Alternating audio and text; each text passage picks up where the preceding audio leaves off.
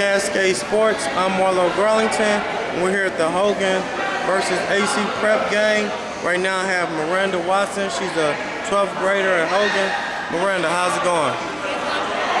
Right, Miranda, how long have you been playing? Sophomore. Um, do you plan on playing in college? All right, what schools are you looking at? All right, well, tell us how you feel about the victory today. I feel pretty good. We didn't have a good game Tuesday, but we did pretty good.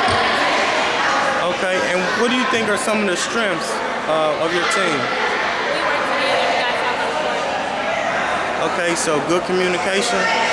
All right, and how do you think the season will fare out for you all? I think we don't do good going to Michigan and hopefully All right, how are your grades looking? I'm doing good. Good. I'm confident scholar, so I'll do my grades. Okay, great. So you're good on the court and off the court.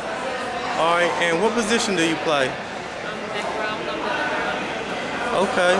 Well, we just want to congratulate you guys on your victory today. Y'all won both sets. Do you have any shout outs? And going to shout out Hogan and Kaufman and my summer Williams. All right, well, we want to thank Miranda. I'm Marlo Garlington. This is Cascade Sports. What's up, Kansas City? I'm Brianna Garlington, I'm Charles Williams. And I'm Derek Parker. and we are CMG. CMG. And we would like to welcome you to follow both websites. That's whatsupkansascity.net and cascadesports.tv.